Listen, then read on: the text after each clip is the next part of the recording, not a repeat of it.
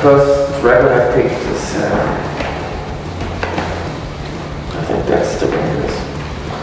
Which, when I first heard that record, um, it changed a lot for me. I, this, this rough sound, this kind of punk attitude together with like uh, slow doom songs, they really changed something in me. I, I always Was always a little bored by like stoner bands and, and, and, this kind of sky stuff because it was too clean for me.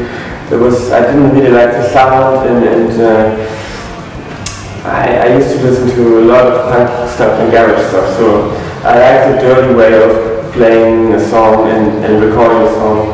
So when, when, when I heard that record the first time, especially the, the song Seer, that um, I realized that this is kind of what I wanted to do.